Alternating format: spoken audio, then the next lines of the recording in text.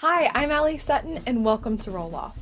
James Campbell has brought us some wonderful literature in the past for the medium to advanced level players.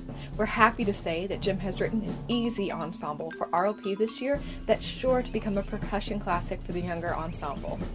Augmented Realities is written for 8 to 12 players and contains a variety of percussive colors for the audience to enjoy. To hear the piece and see a score sample, simply click on the 2015 concert link below. Thanks for shopping at Row-Loff.